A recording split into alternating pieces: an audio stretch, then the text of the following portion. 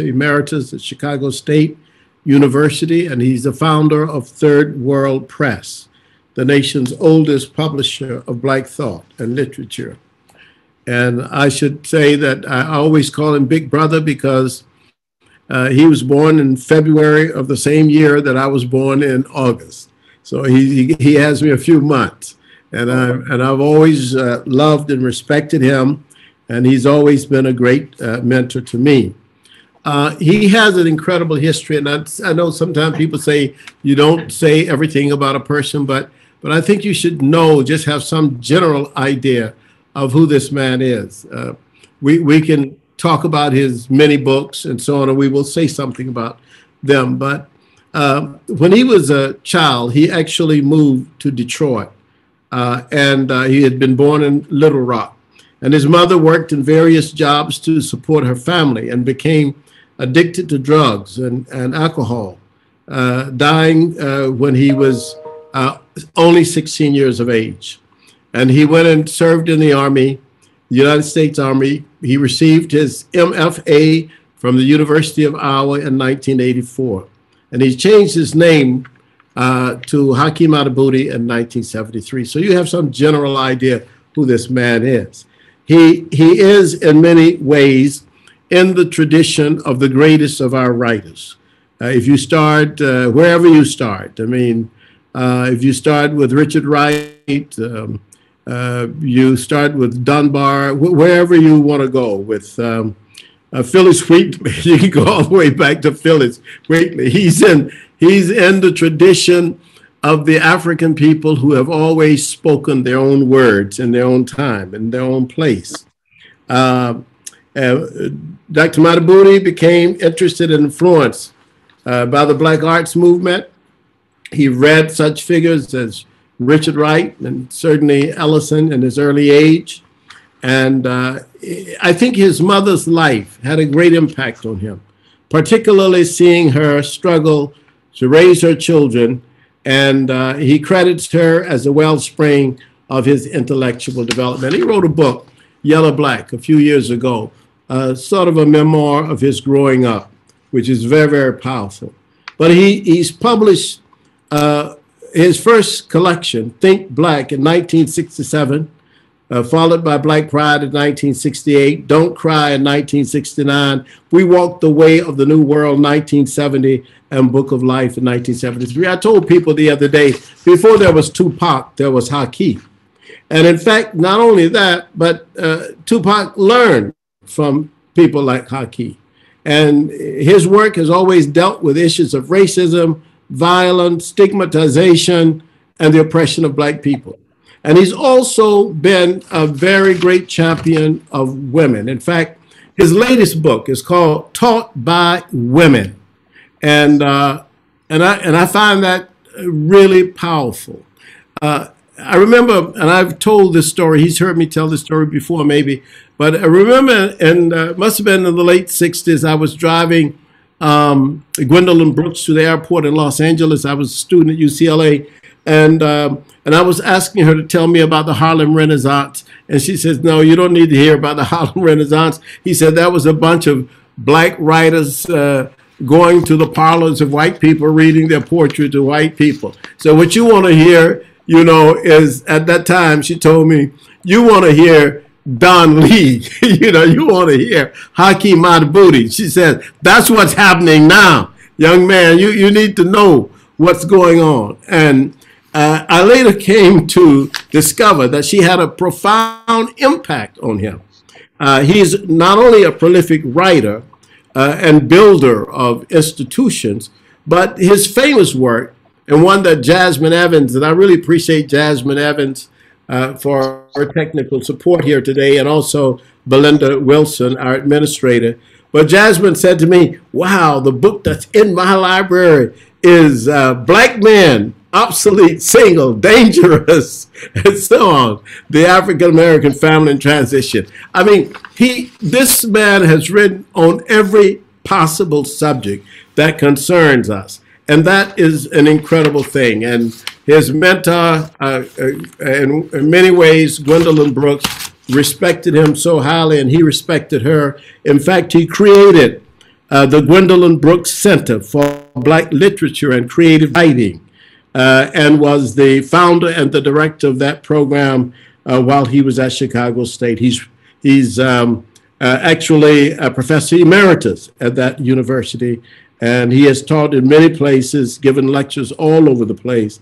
And uh, you know, I've met him in Africa, met him here, and uh, he uh, lives with his very uh, prominent and also intellectual wife, Safisha, who's a professor at Northwestern University. At this time, I'm going to ask Haki if he would come forward and just go ahead and talk to us for the next 40 minutes. Thank you very much. Thank you, uh, Dr. Sante. Um, I'm really happy to be here uh, with you all for a number of reasons. Um, one, I have so many extended family in um, Philadelphia. Uh, I can't come there without seeing Dr. Diane Turner, uh, Professor Sonia Sanchez, and Dr. Marc Lamont Hill, and my very good friends, uh, Beverly Lomax and Sarah Lomax, uh, and Dr. Regina Jennings, and, and, and Dr. Bloxton, and others. But most certainly, Dr. Molefi Kete Asante. I am so um, proud of him. I don't know what to do. Anytime you create an institute uh, and you begin to understand the world at a different level, it's nothing like having to make a payroll every two weeks. that you will grow up rather quickly because you can't pay somebody with an essay or with a poem.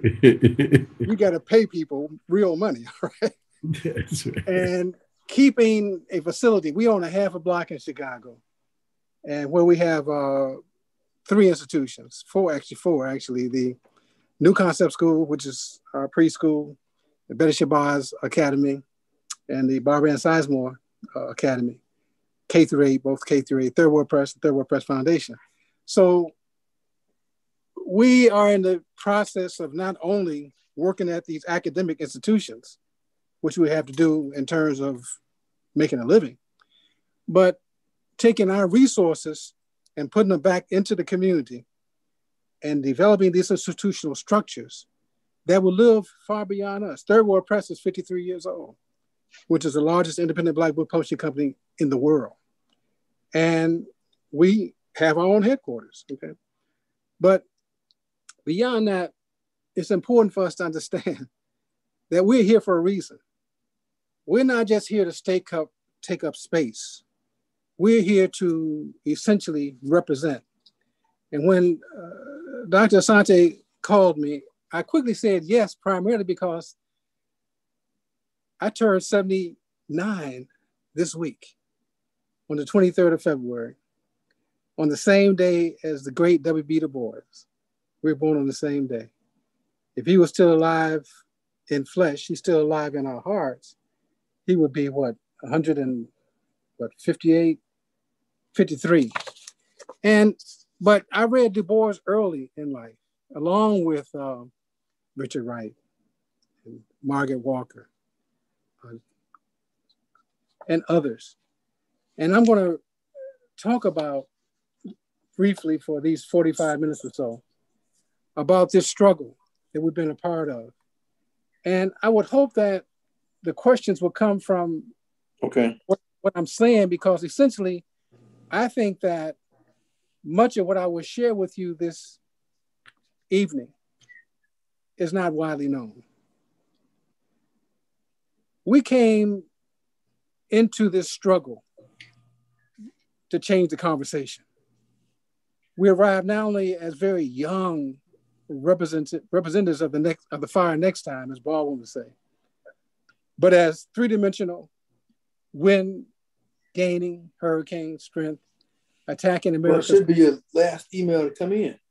White supremacy, as manifested in the politics, economics, education, military, history, psychology, literature, entertainment, healthcare, urban and rural policies of Western culture. No small task for poets and artists, writers, and scholars. However, we were as serious as a first love and had excellent teachers and examples.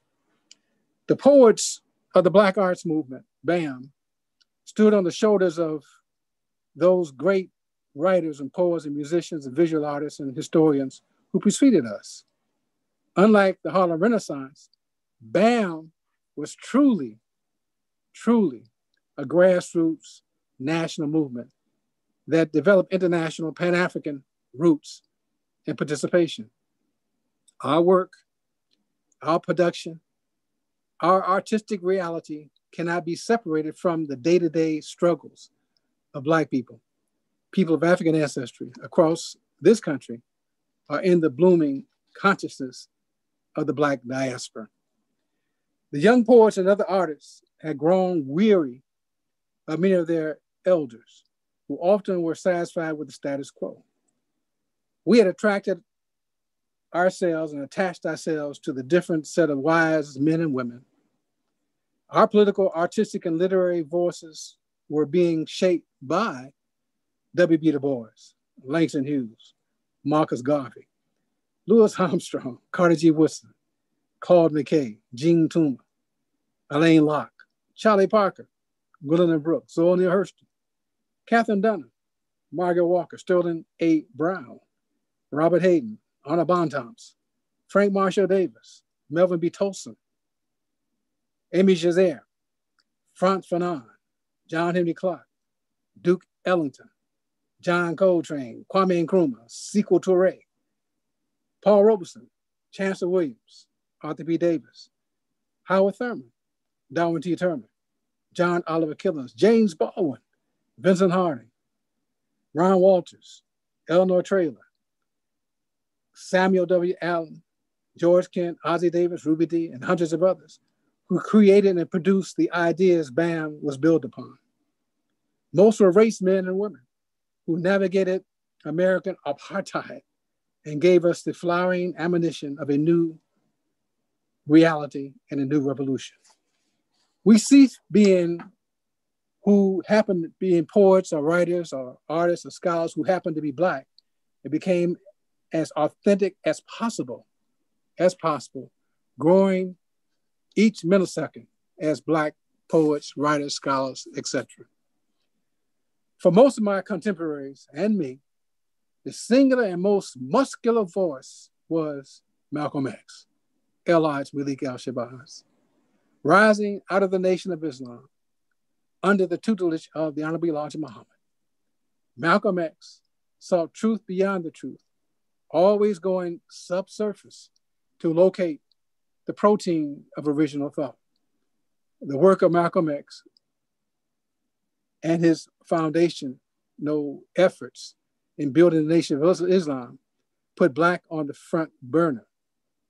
He was our bold guide, patient step ladder, and non contradicting voice, who most of us learned to love, trust, and try to emulate. His death in 1965 is often credited and cited as the defining event that sparked the beginning of the Black arts movement in this country and internationally. LeRoi Jones became Amiri Baraka, left the village in New York to move to Harlem and eventually back to Newark, his birth city where his voice was essential and second to none in giving urgency to BAM. He is cited as one of the originators of BAM, along with Larry Neal and Askia Toure, Sonia Sanchez, Gaston Neal, Lucille Clifton, and Jayne Cortez. Though they were primarily identified with the East Coast, the activity sparked a simultaneously emergence of BAM across the country. It was national. In the Midwest was Dudley Randall, Margaret Burroughs, Margaret Danner, Margaret Mari Evans, Ron Milner, Milner Gwendolyn Brooks, Hoyt W. Fuller, Woody King Jr., Eugene Redmond, myself, I was Donnell Lee at that time, Carolyn Rogers, Nikki Giovanni, Sterling Plumpp, Val Gray Ward, Abner Joan Brown, Johari Amini, Etheridge Knight, and Norman Jordan. In the South, there was Tom Dent, Kalamu ya Salaam, who was then at the time Val Ferdinand, Margaret Walker. And on the West Coast were Marvin X, Sarah Westbrook Fabio, Maulana Karenga, Ed Bullins, and Joe Goncalves. This movement included hundreds of others throughout the nation, and most certainly Keorapetse Kgositsile, representing the continent of Africa, and early voices like Ed Spriggs, Dave Henderson, Victor Hernandez Cruz, and Ishmael Reed, all credited in groundbreaking service and work in pre-BAM and connecting to other cultures and formations to strengthen BAM. These poets and writers were concerned with producing and defining poems and texts. And as a result of their work, we ceased being Negroes and became Black people, people of African ancestry, and finally African Americans or Africans in America. In 1968, Maulana Karenga and Larry Neal produced two insightful essays to provide much of the theoretical basis for BAM.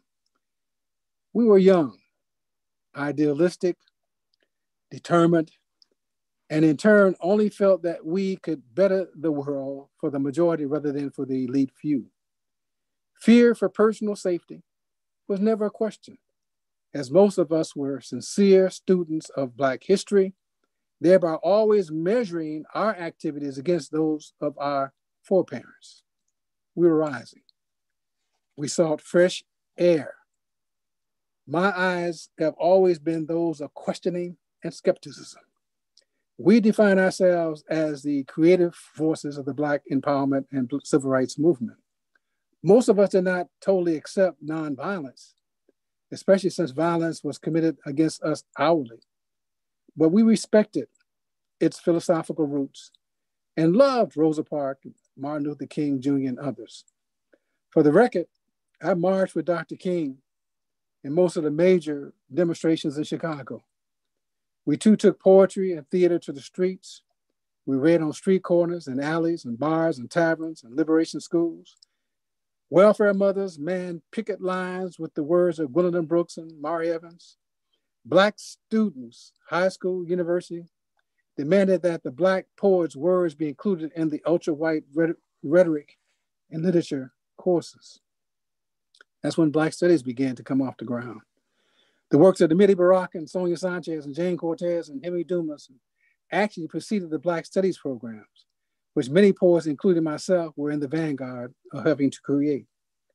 Like the music of the Dells and the Marvin Gaye, the Temptations and Curtis Mayfield, the poems of the last poets echoed throughout the community. For the first time in recent history throughout the nation, Black poetry was being recorded, incorporated, and danced and acted to at a mass level. This was the case for the Black House in Los Angeles, to Afro Arts and ETA and Kuumba Theaters in Chicago, to Concept East in Detroit, to New Lafayette and the National Black Theater in Harlem, to Spirit House in Newark, to Free Southern Theater in New Orleans and Karim, uh, uh, Karamu House in Cleveland. My first album, Rapping and Reading, was Broadside Press, was recorded at a reading at Wayne State University in 1969. Public readings by many of BAM poets evolved as noticeable competition for the idiot box. The grapevine of black vine or the black vine emerged as the prime source of publicity. Black bookstores appeared in many of the large black areas, and new black publishing houses supplied them with the newest of the new poets' books. Black poetry books were coming off the presses and being sold by the thousands weekly. One poet produced books whose sold reached, sales reached the phenomenal number of 100,000 copies. With the demand of Black studies, Black universities, and Black thought, we found ourselves in the unique position of being able to supply new knowledge that was to become the most exploited field in the late 60s and early 70s. The major publishing houses, which had traditionally overlooked and discouraged Black poets and writers, began to saturate the market with reprints of out of print material while pulling and attracting many of the young Black poets and writers as a little green bait would attract. I had offers from Random House and the University of Illinois. The new Black poetry was like the new Black music to the white mainstream publishing houses in effect, not understand, not understood or taken seriously, but highly profitable. Thus, the latter parts of the 60s and the beginning of the decade of the 70s ushered in the new Black poets as well as Black studies programs across this country. After the assassination of the Prince of Peace, Martin Luther King in 1968, and the explosion of cities around an explosion of uprising of cities around the country, our work took on a new urgency. We viewed our struggle as a part of the international African liberation movements, the Congress of African People, the US organization, the Black Panther Party, a serious call for Black theology, the African Centered School Movement, Black Power conferences, and the creation of African Liberation Day all took up critical space for discussion, evaluation, and of course, action. We must remember that there was also a storm of organizing activity among Black professionals, resulting, resulting in the creation of national Black organizations representing educate, educators, psychologists, law enforcement, social workers, doctors, medical care workers, lawyers, politicians, and others. So the BAM poets and activists were a national force pushing hard for self definition, self determination, self reliance, and self defense. One of the major journals to come out of the 60s and 70s was the Negro Digest Black World magazine under Hoyt W. Fuller.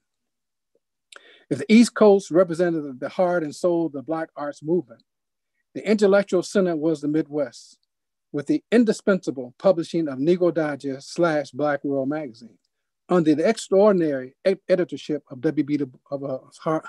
Fuller. Hoyt W. Fuller. Negro Digest Black World was a monthly magazine of Johnson Publishing Company which also published Ebony and Jet magazines. Even there were, though there were other important journals of BAM, such as Soul Book, Freedom Waves, Black Dialogue, The Cricket, The Liberator, The Black Scholar, Amistad 1 and 2, Black Bulletin, which I edited, The Black Collegiate, edited by Kalamu ya Salaam, The Black Position, edited by Gwendolyn Brooks, and the indispensable journal of Black Poetry, edited by and published by Joe Goncalves. However, it was Negro Digest and Black World magazine that essentially took up the most space each month, went into battle against white literary establishment while pushing black mainstream writers, publishing my, black mainstream writers, as well as the new and upcoming poetic voices of BAM. Each year, Hoyt W. Fuller and his indispensable associate editor, Carol A. Parks, published an annual poetry issue highlighting the original work and senior, of senior Black poets, as well as paying special attention to the new voices blowing fire and challenging white and Black mediocrity and betrayal.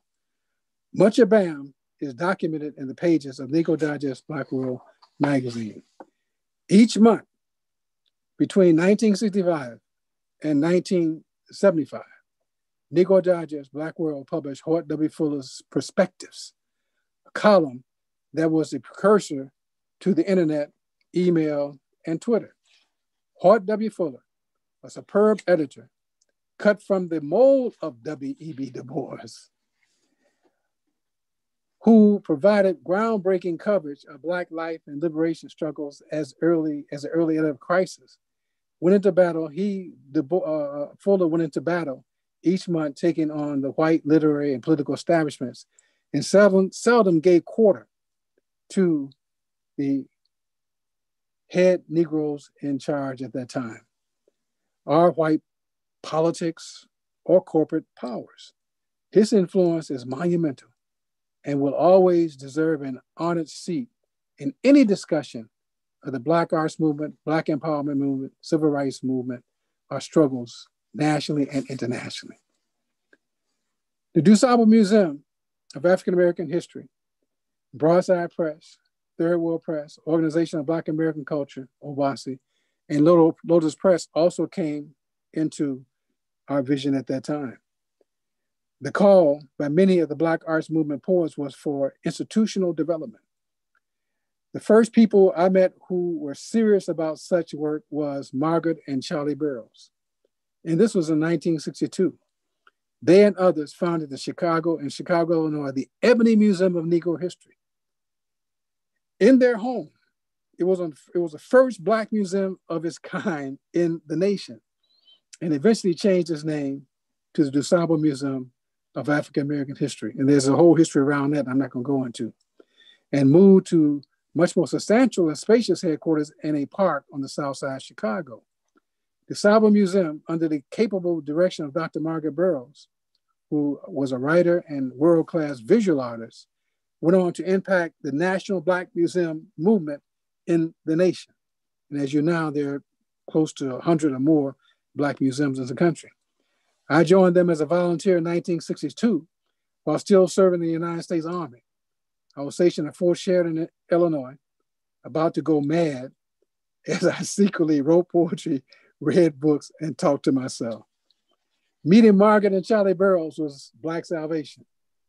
I volunteered on evenings and weekends, and this allowed me to literally devour their substantial library, especially Marxist literature, which I read under the careful guidance of Charlie Burroughs, who had been raised partially in the USSR and spoke Russian fluently.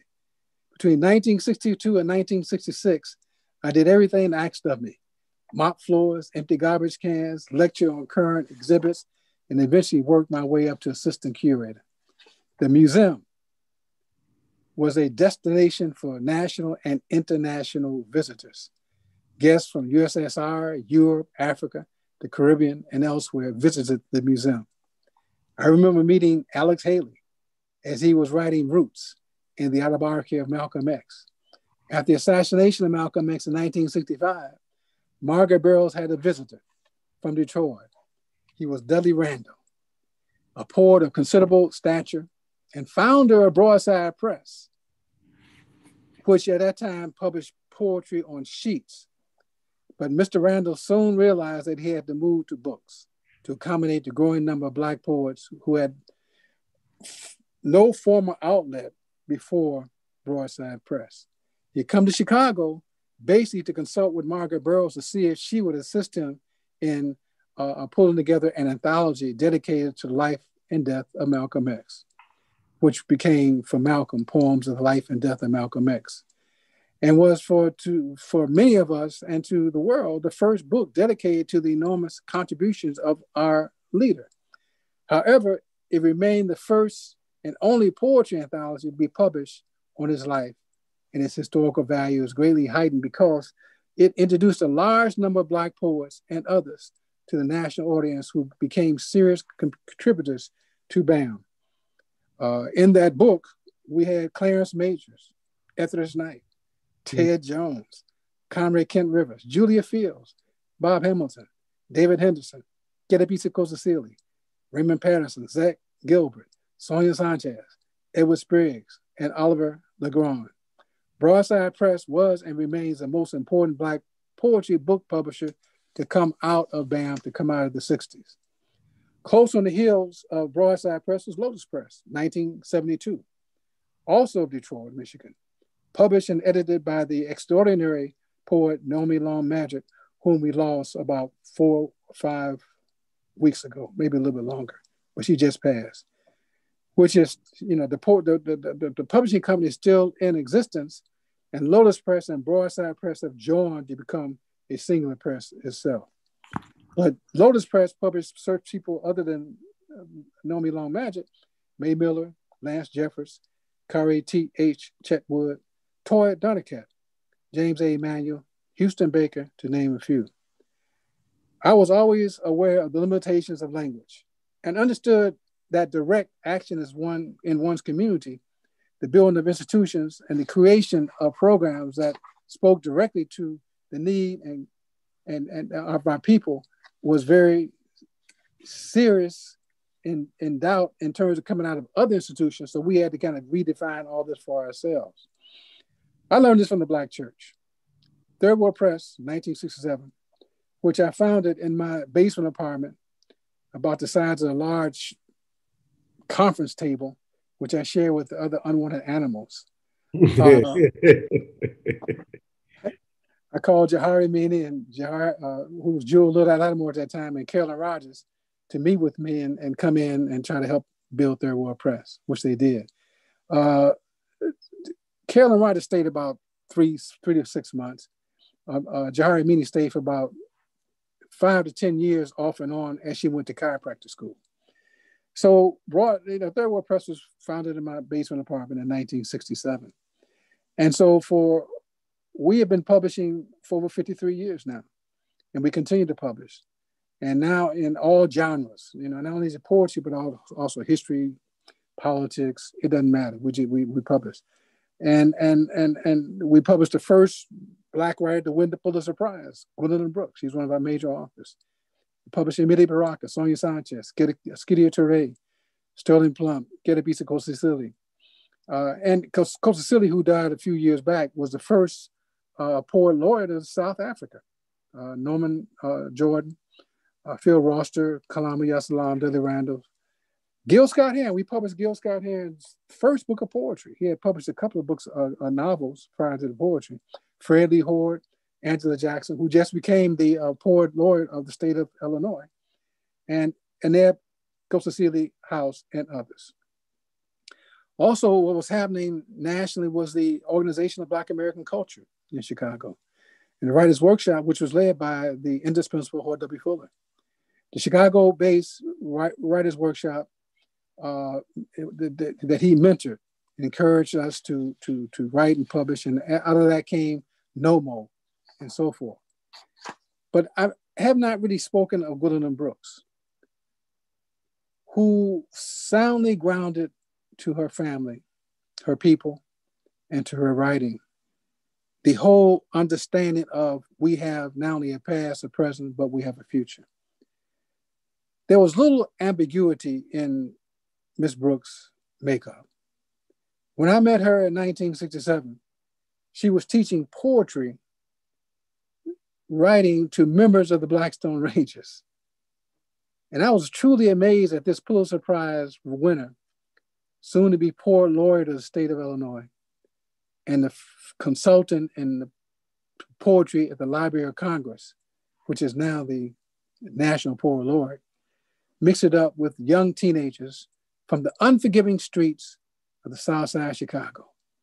She was working with the great, great poet, musician, entertainer, Oscar Brown Jr. In fact, one of the first rappers in the country. She literally gave herself, her resources, her knowledge unconditionally to all who came into her space. That workshop soon moved from the Southside Church to her home, a very simple wood frame dwelling where we met weekly to grow and practice poetry writing. When I met her, I published my first book, Think Black, came out in 66, 67. And my second book, Black Pride, was under consideration at Broadside Press. It was eventually be published in 1968 with the introduction by Dudley Randall. But I had published Think Black through the museum, the DuSable Museum, and I remember coming to meet Gwendolyn Brooks. And Think Black had a white cover with the continent of Africa in the center of the book. And I gave it to her, and she looked at the cover for about 10 seconds. Then she put it to her heart, and she said, Young man, I'm going to read this tonight. Thank you. And then, of course, Gwendolyn Brooks became uh, eventually my uh, cultural mother. But she impacted all of us, writers, intellectuals, and as individuals rooted in our newfound Blackness. She rejected pretentiousness, which is characteristic not only of her character, but also of her poetry. When Miss Brooks decided to grow a natural and leave Harper and Row for Broadside Press, she, without knowing it, was setting an example for all of us. She was committed to Black identity and institutional development and she honored us until her death in 2000. In addition to her multiple volumes of poetry and autobiographies, she published two anthologies highlighting BAM poets, Jump Bad, a new anthology of Chicago poetry, and, and uh, Broadside Treasury. The other person coming out of the Midwest was very important is Mari Evans, base of operation in Indianapolis, Indiana. Her poetry had been anthologies, anthologized nationally. In her first volume of poetry, I'm a Black Woman, remains a classic of BAM. In 1970, the Black Academy of Arts and Letters honored her with this annual poetry prize. An accomplished musician and playwright, She has also published children's books and essays and remained one of the most important poets in America.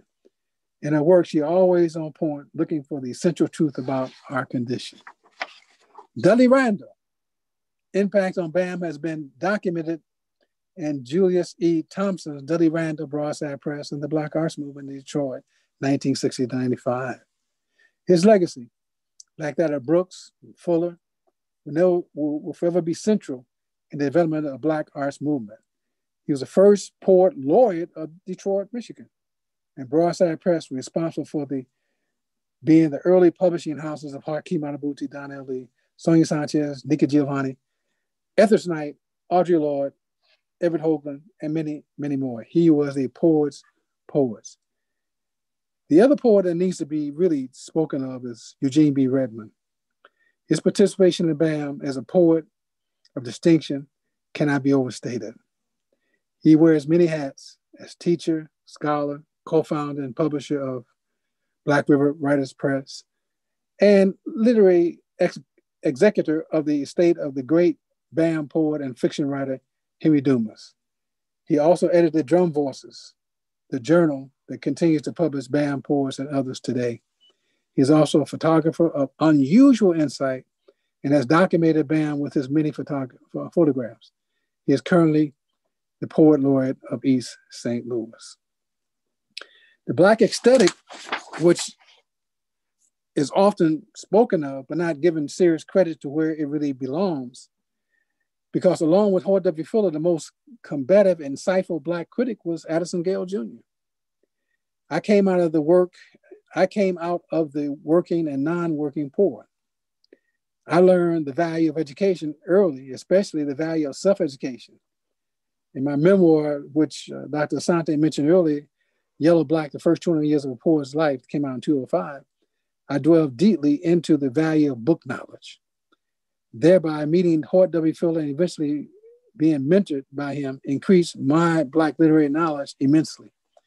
Fuller knew everybody, and his introduction of Addison Gayle Jr to the old bossy writers encouraged many of us to begin writing literary nonfiction about our art form and others. But between 1965 and 1975, there was a bruising, national battles regarding the literary quality of Black poetry in print and Black poetry on the streets. And so this bitter engagement was not only about the legitimacy of Black writing, but what is known as Black poetry and the Black aesthetic. Poets such as James A. Emanuel, Sarah Webster Fabio, Keorapetse Kgositsile, Sterling A. Brown, Amiri Baraka, LeRoi Jones, and others began to essentially let their views be known in these major journals. I'm skipping a little bit because of time, but in 1969, and Pratt, where actually in 1968, I started te- well, 68, I started teaching at the university level. I started teaching at Columbia College in Chicago. And then the great fiction writer, John Oliver Killens, invited me to this annual writers conference at Fisk University in 1968. And I gave a reading and talked about literature. And I got two job offers one for Talladega College and the other to Cornell University. So obviously, I want to go to Talladega, where essentially uh, was a black school. I went to Talladega and gave the same lecture and readings that I gave at Fisk University. And the white people who actually ran Talladega said, no, we don't want this. We, you're not coming here. No. Then I went to Cornell. It's 1968 and gave the same lecture there. And the student said, yes, we want him. But since I did not have a graduate degree, the faculty at Cornell said, no, we, well, you can come, but we're not going to credit your course. And of course, I said, I'm not, and I told the students, I'm not coming. Why would I leave Chicago and come to cold ass Ithaca, New York, and teach with these Neanderthals who don't want me there in the first place? This got back to the students. The students, you know, were angry. They went to the English department and laid down the law. I got a call from the chairman of the, of the English department, asked me to come back for an interview. I did, and I'm not going to go into it, but anyway, I put them on notice and embarrassed all of them and got the job. I stayed there for a year, and in that year, as you know, if you look at the literature, the students took over the administration building at Cornell with weapons to bring in the Africana Studies Department. And of course, the first director of that department was Dr. James Turner. Okay. James asked me to stay. I said, no, I'm not staying in this place. I left and went back to Chicago. But prior to going back to Chicago, I traveled to Algiers in North Africa for the Pan African Festival in 1969. This was my first trip to the continent of my foreparents. At the festival, I met and read poetry on the same stage with Nina Simone, Archie Shepp, Ted Joans. Many Black Panther members were seeking asylum and, and refuge in Algiers. The Black Panther visual artist Emory created a poster for the event, which I have here in my home. The band poet Ted, the band poet Ted Joans, who lived in Timbuktu, introduced me to Africa in many ways that were impossible to learn from books, music, or film.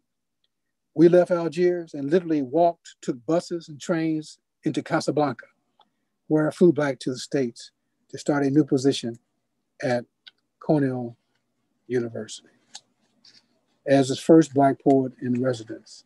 It's 1960. 68, 69, 68, what? So anyway, in 1970, uh, I got a call from, and this is critical, 1970, I got a call from, um, what happened, Don't Cry Scream, my third book was published at, while I was still at Cornell. The book came out, and while at the same time, David Llorens, who was writing for Ebony magazine at that time, and Moneta Sleet, the Pulitzer Prize winning photographer, followed me around Cornell and then to other areas of the country as I was completing Don't Cry Scream, taking pictures because they're doing an article on me as the first Black poet in residence at a Ivy League university. And so in March of 1969, the Ebony magazine came out with the article in it. Don't Cry Scream, my third book came out, and they hit at the same time. And Don't Cry Scream sold more than 75,000 copies in that year. My life was changed. My phone would never stop ringing. So, this national presence was a major reason I was asked to join the faculty at Howard University. I'm not going all into that, but I stayed at Howard University for eight years. And between 1970 and 78, I commuted between Chicago and DC every week with the university paying for it. And one of my major influences at Howard was Stephen Henderson, who was the director of the Institute for the, Art, for the Arts and Humanities. And of course, John Killens had joined us from Fisk University. Andrew Billingsley was the provost, and he was the one who hired me.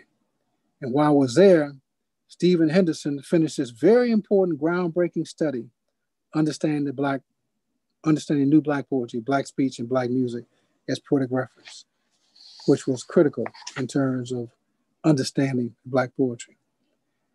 And so my stand in DC was critical because it was a staging ground that I not only continued to work each week in Chicago. I had to get an apartment in DC, but also using DC and Chicago, I was able to travel around much of the country. I'm one of the few poets who have been able to read in every state in the Union or the nation, except South Dakota, North Dakota, Alaska, and Hawaii. And been able to essentially travel to four continents, been to Africa about 15 times, met with four presidents, and have been involved in Black struggle at so many different levels. Uh, many people do not, do not know this, but the Nation of Islam, under the Honorable Louis Farrakhan started in my basement, our basement apartment in Chicago. I met Louis Farrakhan in Nigeria at Festac, and where at this time the Nation of Islam was basically uh, breaking up and not knowing where which direction it was going go going in because the Honorable Elijah Muhammad had been had died. And so Minister Farrakhan had not decided what he was going to do at that time. I was head of the Festac arts group coming from the Midwest, I and Abner Joan Brown. But I was head of the housing. And so I would be in charge of putting people up there. Got a call from Stevie Wonder. And Stevie Wonder asked if he could come down to the African American compound. And of course I said yes. But in Stevie Wonder's entourage was Minister Farrakhan. Okay, that's when I first met him. And about two weeks after he got back to Chicago, uh, got a call from one of his representatives. And he said he wanted to meet with me. And I said, why? He said, well, we want to bring the Nation of Islam back. Well, I said, you can't meet at the Institute of Positive Education or Third World Press because you're all shooting at each other. And I can't bring you here among our babies. We have our children here. So I asked my wife, and uh, we were able to meet at our home in Southside Chicago. One thing I'm gonna kind of end this. One thing I did not say and did not really talk about was my wife. We met in the 60s and we began to date. We dated for about six years because I was, you know, moving back and forth between Chicago and DC. But my wife, uh, Dr. Carol D. Lee, is one of the major scholars in the world.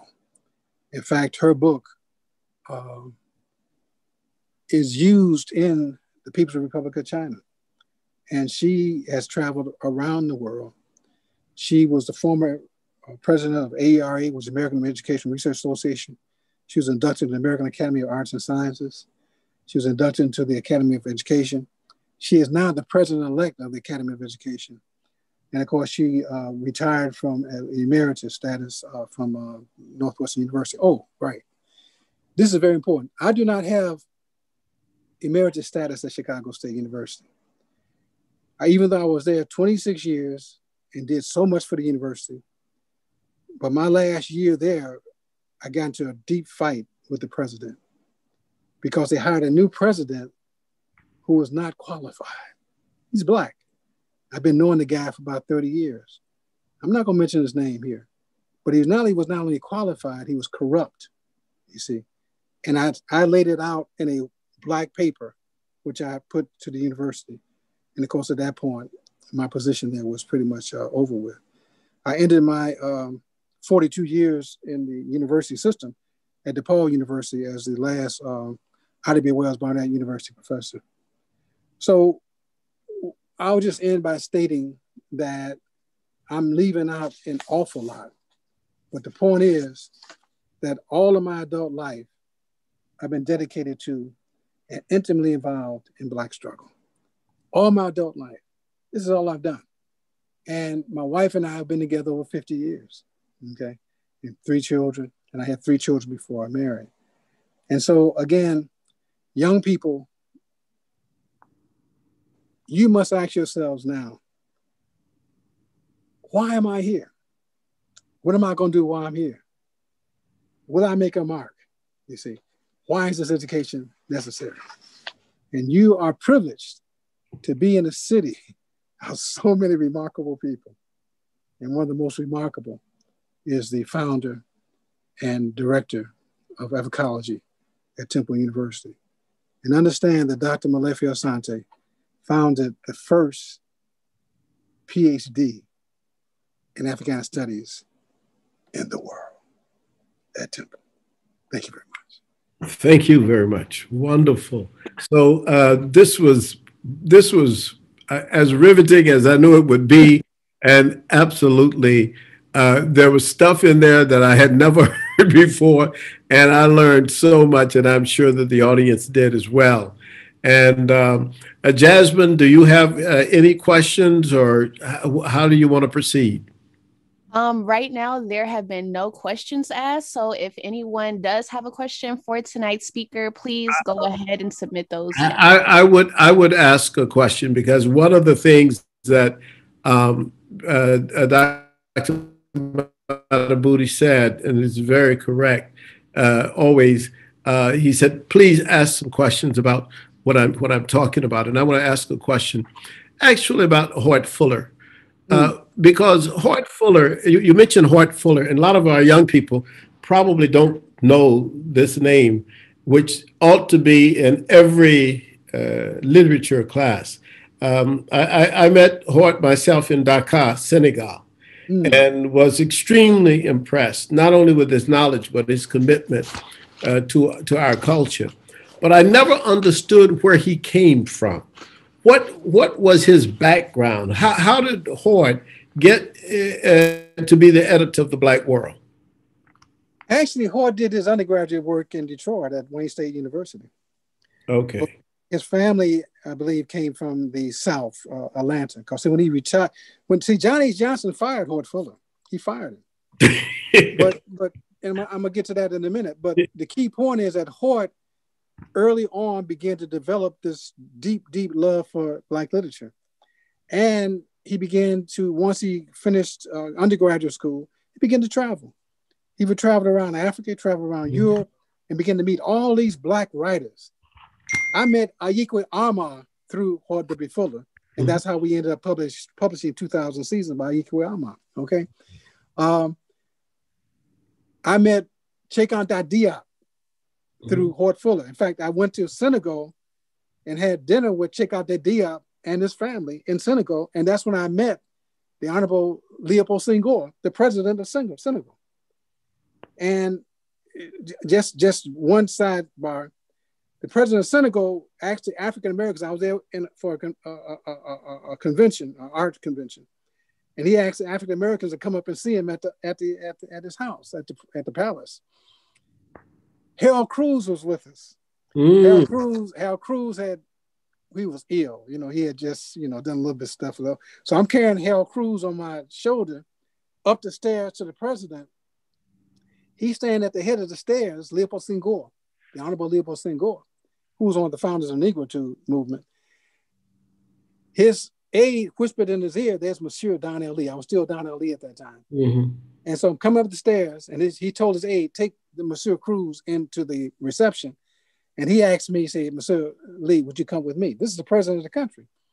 So we go into his library and he goes to his bookshelf and he pulls out two of my books, Don't Cry Scream, and We Walk the Way of the New World. and asked me to sign the books. Okay. I said, this is one of the great writers in the world, all right, as well as the president of the country. Well, there, there, there were actually two great writers in that room. But anyway. but anyway, Hoyt Fuller, he was the one that put me in touch with many of these people himself. So what happened, if you if you look at 10 years, 1965, 1975, of Negro Digest Black World magazine, and and I was involved with the renaming of Negro Digest to Black World magazine. I led that movement, but it was Hoyt Fuller's idea to name them. Okay, and anyway, toward the end of his tenure at, at Johnson Publishing Company, and this is very important, people don't know this, he was fired. And the reason he was fired was because he had allowed Palestinian writers mm. to write about their position oh, in. Israel. Okay. Wow. The Israeli community got to John H. Johnson because what happened when he fired Hoyt Fuller, we set up picket lines outside Johnson Publishing Company. Now, Johnson Publishing Company had basically built a new multi-story building on Michigan Avenue in downtown Chicago. It was new. Okay. We set up picket lines. Johnson came out, Johnny Johnson came out and asked us to come upstairs. I was a spokesperson. and basically I said, Mr. Johnson, Hoyt W. Fuller is one of us. Not only us here in Chicago, but one of us nationally and internationally. We want to know why you fired him. And number two, why you stopped publishing Black World Magazine. Johnson was very clear. He said, the Jewish community had come to me and stated unequivocally that if you do not stop publishing Palestinian writers, we're going to talk to our friends and pull all of our ads out of Ebony Magazine. Wow. And this was so clear to us because he had just built the building. And to pull the ass out of Ebony meant the, the destruction of Ebony magazine. That was his money cow. Mm-hmm. Okay. And so he said I had to let Hoyt, Mr. He said I always called him Mr. Fuller. I had to let Mr. Fuller go. And so Hoyt went back to Atlanta and we started First World magazine. Mhm. But Hoyt Fuller was a giant, and he was a much more of a giant to me because back in the, the, the, the 60s, late 60s, early 70s, especially when I was, you know, in between uh, the army and and and and, and find, trying to find my way as a young writer, I was six foot one, about 145, 50, 60 pounds at the most, looked like a walking skeleton. He would take me to dinner every week, said, at least you get one good meal a week. All right. And and finally, about Hoyt Fuller, when I got the position at Cornell University, I didn't have no money. I, Mhm. I mean, I couldn't even get to Cornell. Okay, so I asked him. Not this is to show you how how, how what, what a good brother he was. I asked him, would he loan me three thousand dollars so I could buy a car? Okay, and he didn't even. He pulled out his checkbook and said, "No, you come with me. We're going to get the cash now." Got me three thousand dollars. I bought a Volkswagen and a few clothes, and you know some few other things, and drove to Ithaca, New York. Okay, this was Fuller. He said, "Pay me back when you can," and that's what I did. This brother it was is uncommon in terms of our history. Always knew who he was. I actually saw him knock a guy down at Ebony. This was the old Ebony. Okay, the mm-hmm. guy said something to him. He held off and hit this guy and knocked him down the stairs. All right. So is all this, is all this going to be your ne- your next book, or where where where where can we find this stuff? Are you? Yeah, you I'm, I'm gonna write about it. I'm all right. Okay. okay. Thank you very much. Sorry to interrupt, but we do have a few questions um, from our attendees. The first is from actually a PhD student within our department, Wilbert St. Hilaire. He says, What are some ways, in your opinion, that we can revive the revolutionary spirit of African people in the United States amidst white validation and other forms of confusion? study history. We, our people, are still uh, ignorant about who they are. And if you don't know who you are, if, you don't know who you are, anybody can name you, and they will. Okay, that's how we end up with the names that we have. All right, that's number one. Number two, there are serious men and women in your city who are involved in serious struggle. And I'm not just saying this because Dr. Asante is there, but go to M- MKA Institute. Go to the Bloxham Institute under Dr. Turner. Okay. Uh, uh, listen to WURD uh, Radio Mhm. uh, in, in, in, in Philadelphia. Go to uh, Marc Lamont Hill's bookstore. What is it called? It's, uh, Uncle Bobby's. Uncle Bobby's bookstore. Get involved. See, one of the things the difference between us and I think the Black Lives Matters movement is that we studied every week together as, as a group. And this kept us together. We pooled our resources to build these institutional structures. Okay. And we trusted each other. In fact, we had common housing and where we would pool our money in order to have an apartment here, apartment there. In fact, we at one time we had a whole building, about eight apartments that we occupied, that we just pooled our resources in order to stay together. And so it was that deep love and caring and understanding that if we didn't do it, it wasn't gonna get done. It just wasn't gonna get done. And we knew that what separated us from the enemy was that we knew our history. We Yeah. knew that what preceded us. And so we stood on the shoulders of these great men and women. And as a result of that, we were not afraid of anything or anybody. Okay. And Beautiful. we built these ins- we built these institutions. Okay.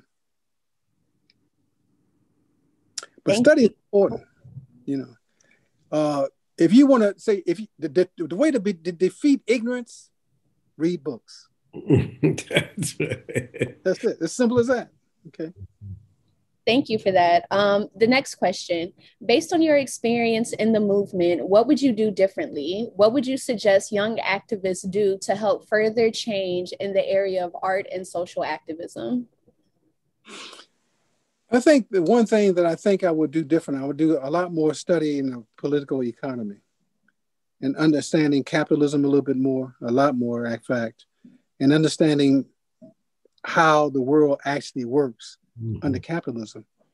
See, one of the real problems that we had as young poets growing up we didn't care about poverty. We we just we, we didn't you know we used our money as it came in, and we did not have the the foresight in terms of planning and how to raise money. And and and and, and, and one well one of the reasons one of the things that pushed us into buying these institutional these buildings and stuff. I never forget back in the late '60s, we would meet in churches, and every time we would say anything that the minister disagreed with, he would put us out. Okay. So I said, I got this. You know, I, I, mean, you only have to do this one or two times. And then we bought our first property.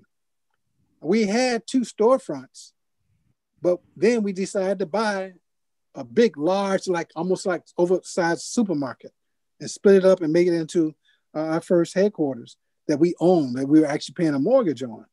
And there we had our first bookstore, we had a credit union, we had a printing uh, company, uh, we had a food co-op, uh, we had our first schools with uh, preschool through third grade. We bought a farm in upstate uh, Michigan, uh, New, New Haven, Michigan. We were serious about struggle. And what we wanted to move toward was a level of self sufficiency and self defense, you see. And so the brothers and sisters, we trained together. Brothers and sisters, we were involved in basically trying to keep these institutional structures together. And we did. And they still, to a large extent, many of them still exist today. And so I would, you know, essentially learn how to make money at one point in this very, uh, uh, uh, um, and the culture and economy that we live in, which we do not control. But at the same time, we have to understand that we have to have resources we're probably one of the few organizations that did not build our organizational structures on grants or foundation money. Everything has come from the Black community, you see. Only up until recently, in terms of these charter schools, did we begin to receive money from the state and from the city. And let me just say something about that. We did not actually believe in the charter school movement. But I said, and I was backed up by my wife, is that the charter schools, these white charter schools with black fronts are coming into our community. And they're using our tax money. This is our tax money. And so we should not be afraid of these charter schools as long as when we file for a charter, make sure we put in there African centered education, which we did. And guess what? We were denied.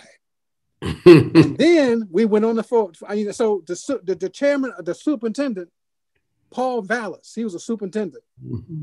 I got on his case publicly. All right. I went after him publicly.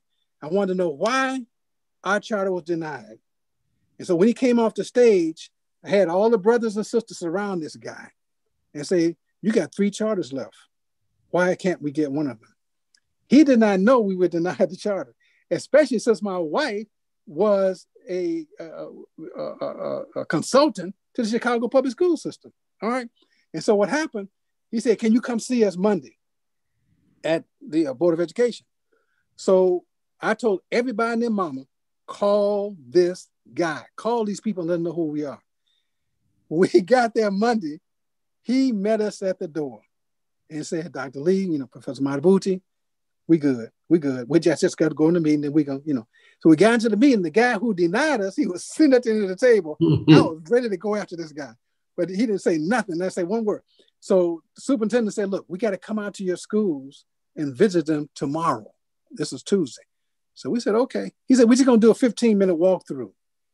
He got to the school. We stayed up all that night, make sure everything was tight. He came to the schools that morning.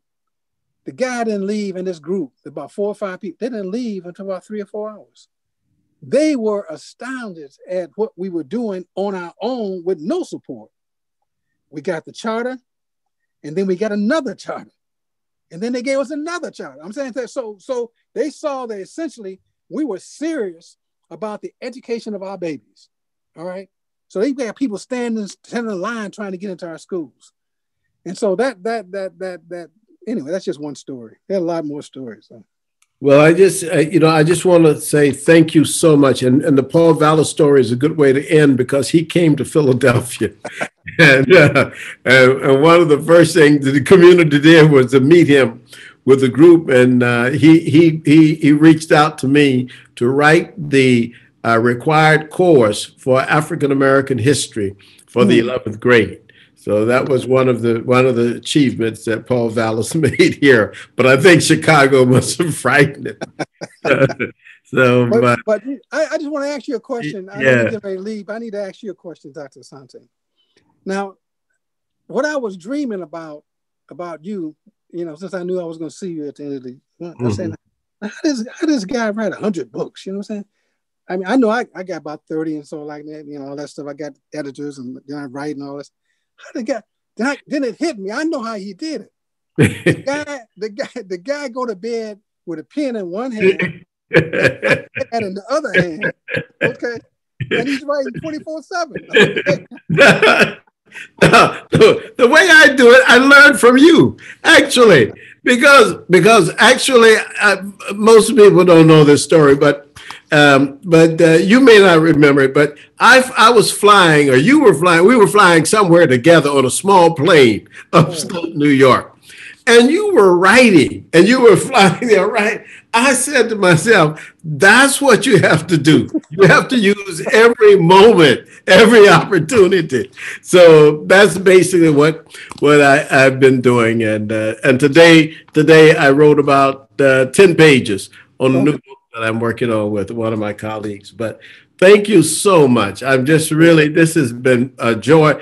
And we and let's just do this. We should try to do this every year. I mean, you know, this is just wonderful. I mean, because young people need to hear these stories. They don't know these stories. It's like they don't know, you know, uh, these are we we are a, we are a people of great nobility, and the achievements of the African American people against so so many incredible obstacles. I mean, the the achievements are phenomenal. I mean, it's like it's awesome. I mean, you you build an institute, you build institutions. I mean, this nobody's giving you. You don't have inheritance of a million, uh, ten million dollars where you can say, "Okay, I got. I, I'm going to use part of my inheritance to do this." No, we do this out of our sweat and our blood. Uh, Doctor, we appreciate you. We, we love you, to- man. Yeah, I love you too. And just go to All right. thirdworldpressfoundation.org. All right. Third World Press Foundation. Dot All org. right. have a new, new website, Bill, but that one works now. So stay All right. Strong. Right. Thank you. All right. really Thank you. quick before we leave, um, Dr. Haki, can you please give our attendees um a way that they can contact you in case they weren't able to um like ask a question and have answer it like now? Right. They can go to uh, TW Press 3. That's TWPRESS 3 at AOL.com. That's uh, my email. And then go to our website, which is www.thirdworldpressfoundation.org. Okay. Or can call at 773 651 0700. And my associate is uh, Rose Perkins. Uh, and she's there all day Tuesday and a half a day on Friday. Okay. Thank you so much. Thank Thank- you. And thank you, Jasmine, and thank you, Belinda. Thank yeah, you. thanks, Jasmine. You, you know, you That's- did pretty good. Thank you. Thank you. Thank you. Thank you. Bye-bye. Great job. Thank you.